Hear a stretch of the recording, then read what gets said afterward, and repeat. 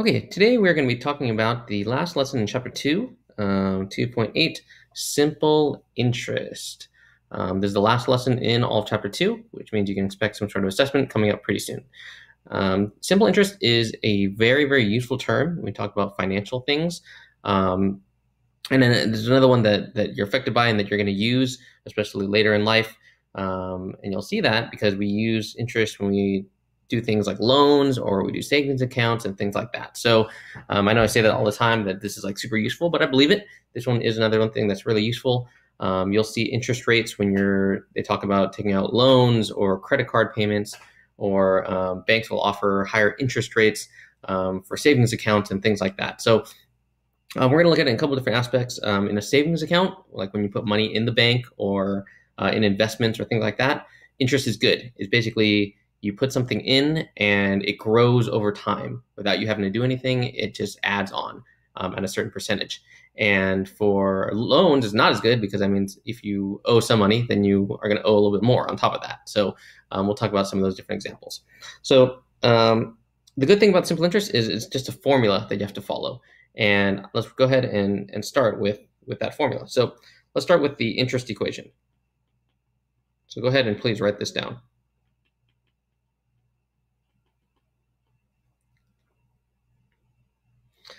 All right, here is the interest equation, okay? Um, it's simply I is equal to P times R times T, okay? Uh, when the letters are right next to each other, we know that's multiplication. So I is equal to P times R times T. So what do all these letters mean? Well, let's go ahead and hash that out. First one is I, which stands for the interest. And that's all we're going to be really looking to find. Um, but in future lessons or, or in the future, you might be able to, to be able to find either the principal, the rate, or the time later on. Okay. Um, P, okay, stands for the principal. Right. And the principal is um, how much you start with. Okay. So this is called the principal. So I'll write it up here. P stands for principal, not like Miss Wilson, your principal. Okay. Um, principal is the starting point. Okay, so this is um, how much you start with. Okay, um, the R stands for rate, right? And that's always going to be a percentage. Okay, but you want to be able to put this actually in the decimal form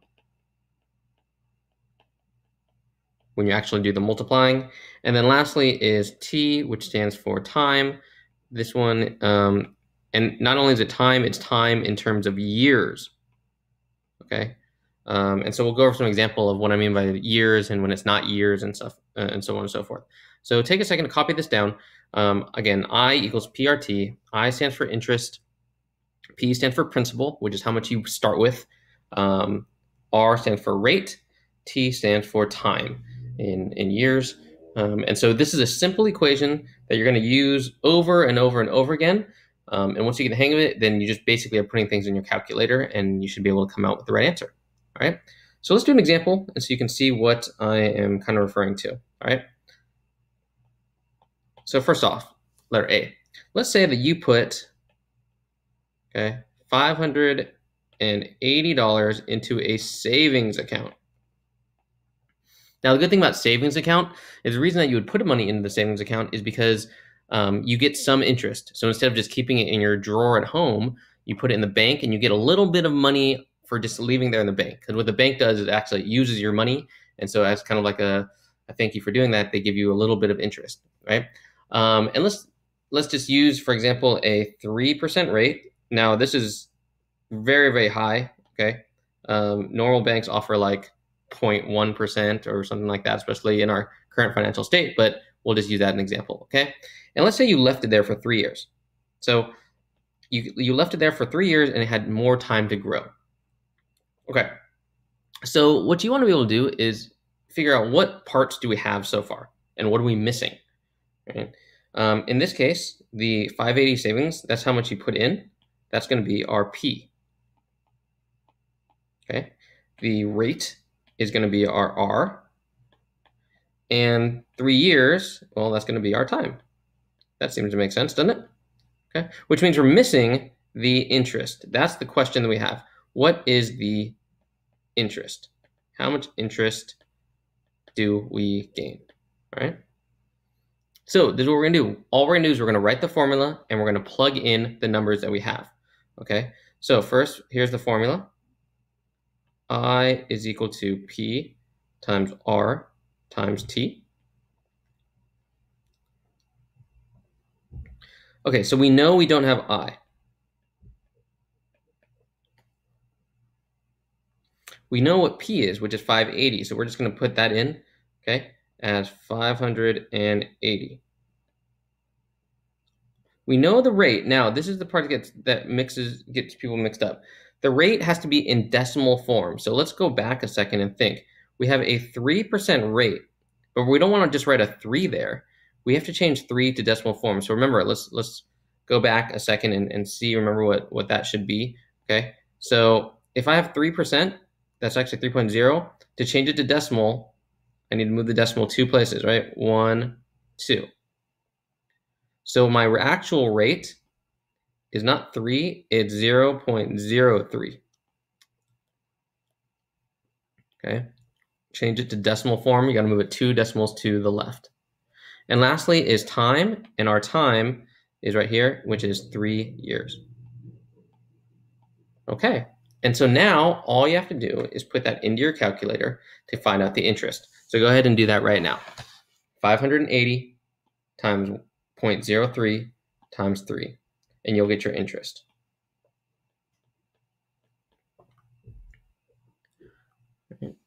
So you should get $52 and 20 cents. Hopefully that's what you got. And what does this number mean? Okay, what this number means is if you put $580 into your savings account, and if you got 3% rate and you just left it there for three years, you did nothing, just left it there for three years. When you come back at the end of three years, without doing anything, it grew $52.20. Okay, so now you have not just the through 580, but you have $552.20 as well. So your the total amount in your savings account right now would be $580 plus the 52.20, right? Let's go ahead and add that in our calculators. You actually now have $632.20. Sometimes I'm going to ask for this total number. Sometimes I'm just going to ask for the interest, but just so you guys know, that's what's going on there right? So it's not bad. You didn't do it, have to do anything, and you got three percent. Um, again, now if you think about it, that means the more money that you put in, the more money that you're going to um, that you're going to get out of that, right? The more money that you have in the savings account, and also the longer you have it in, right? The bigger the numbers that you multiply, the better it has. Okay, um, let's do one more. Let's do one more, and this time I'm going to give you guys a little bit more time to do this, kind of like more on your own. Okay. So problem B. Okay, um, let's see. Let's say, for example, all right, you have, um, let's do this one. All right, you have, you put $350 into a savings account. We'll say it's $350 deposit. Okay, that means to put in. You put in money, right? Um, the rate is 6.2% and you leave it there for again for three years. All right, go ahead and try and figure out how much interest I will gain from there. How much interest?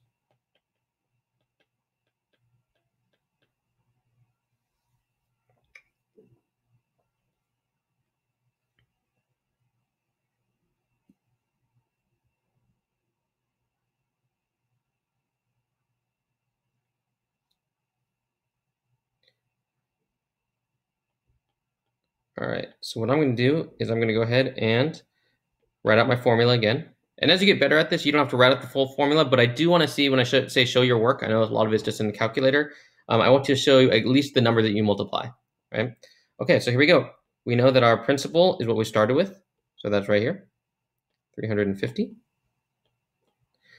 Our rate is right here. 6.2, which again, we have to change to move the decimal two places, 1, 2, so 0 0.062. And then our time in years, three years, so that's just regular three. So we're good to go on that. So I need to write that equal sign. Okay. Okay, so go ahead and put that in your calculator and let's see what you get.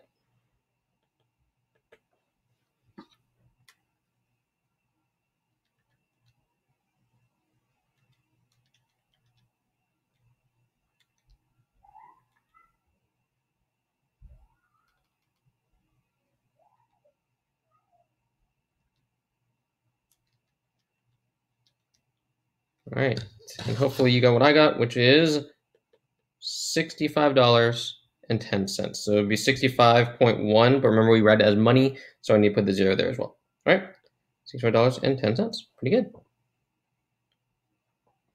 Okay, the other thing that you're gonna see um, on your homework tonight is what if we have problems where um, not exact years, so not whole number years, right?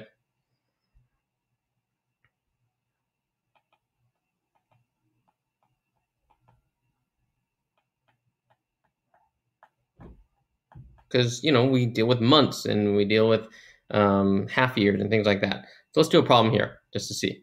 Okay, so let's say um, letter C.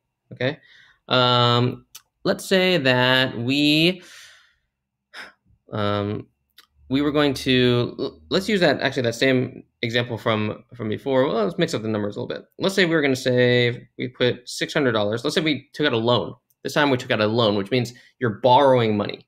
Okay, and you have to pay interest on a loan because just think about it. If you, the only reason someone would lend you money is when you pay them back, you actually pay them a little bit more. Otherwise, it doesn't make sense for them to loan you any money, right? Because then they're just down money for a while. So let's just say that uh, we'll make it. We'll make it big numbers here. We'll say five thousand dollars. So five thousand dollar loan.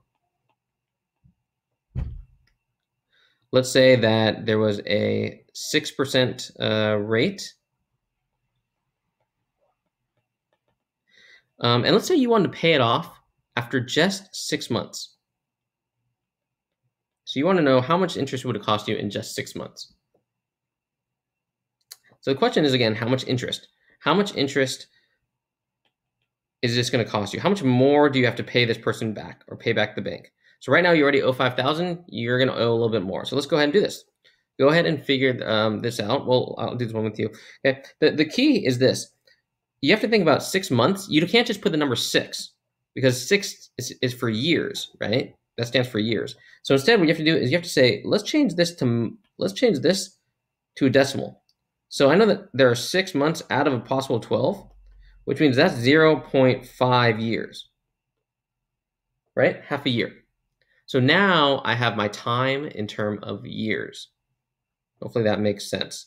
So you got to change your months into years right? And by you do that by just dividing by 12. So let's go ahead and try and do the problem now, right? So I is equal to P times R times T. We're missing the I, so I don't know it. I know my principal is going to be 5,000. That's what I start with. I know my rate is 6%. And again, 6% is equal to 0 0.06. We got to move that decimal over. And again, time if I put just six here, that would stand for six years, right? That's too big. You can't do that, right? So that's why you can't just say, oh, six months, six years, not the same thing. You got to change it to this number here, 0 0.5. Okay. All right, let's go ahead and multiply this out and see what we get.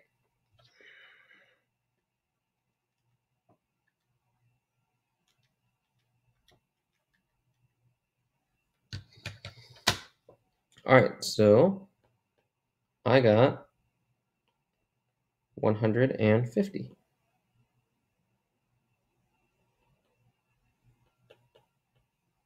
So what does this mean? That means that if you borrowed money, $5,000, and you might think that's a lot, but actually you borrow a lot more money than that when you eventually hopefully buy a house or you buy a car or um, you go to college and you have to take out a student loan. Um, if you ever hear about things about like student loan debt, this is why. Because if you think about it, this five thousand dollar loan in just six months, you actually owe more than that. You owe five thousand, and you owe this hundred and fifty right here, which is which is growing. So that's why you want to avoid things like high interest loans. Okay, so for example, on credit cards, they have high interest um, loans if you if you don't pay back to pay them off on time, or if you see some of these other um, places that offer like quick cash and things like that, you want to avoid those because they offer really high interest loans. Right, so that's something you want to avoid. Okay, let's do one more problem like this without not whole number of years. Okay, let's see if you guys can figure this out. Let's say that um, let's do another loan problem. Okay, this time let's say we'll make numbers really big. Um, ten, uh, let's say twelve thousand. You want to buy a new car, so you took out a twelve thousand dollar loan. Um, let's say the rate is not too bad, so just a 4.5% um, rate. And you're going to pay it off in, uh, let's say, two and a half years. All right, so if you can try and figure that one out, try and figure it out. Again, the tricky part is the years. So I'm going to show you what to do with that.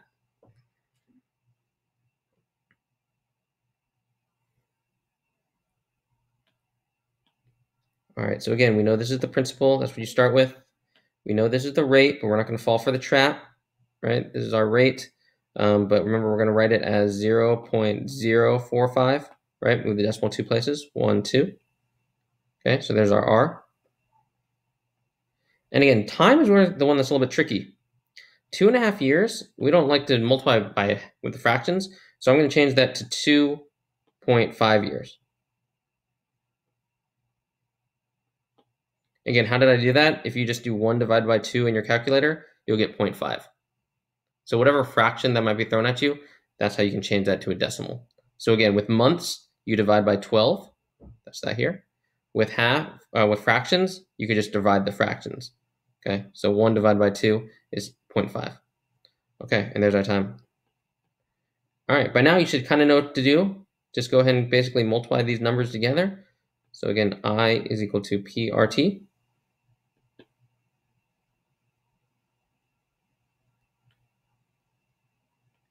All right, go ahead and figure that out.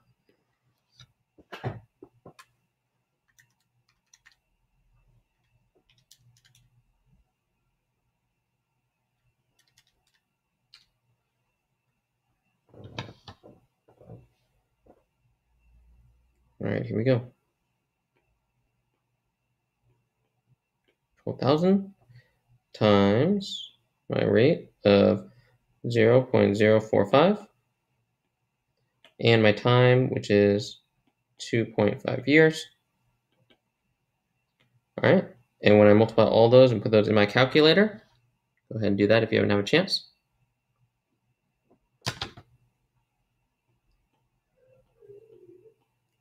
One thousand three hundred and fifty. So here is my interest. That's how much interest I'm going to pay. So the question is, well, if I borrowed $12,000 from the bank to pay for my car, how much money will I have to pay if I take me two and a half years at this rate? Well, that means my total would be $12,000 plus an extra 1,350, which is equal to 13,350. Right? That's my total.